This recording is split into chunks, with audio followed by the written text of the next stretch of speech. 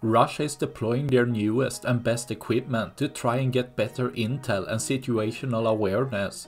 But deploying their top of the line equipment also comes with a lot of risk when having multiple weak points, as Russia just started to deploy their new Yastreb counter battery radar, meant to detect artillery, mortar and MLRS system at longer range. The first system was destroyed very short after deployment, but while some may say Ukraine got a little bit lucky, now less than a month after, another system was found and destroyed, sending air-bursting GMLRS rockets hitting with great accuracy, sending blast fragments piercing the system, destroying the electronics and components inside, leaving one less of Russia's most capable radar system.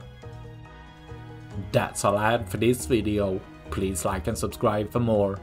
Thanks for watching. Bye.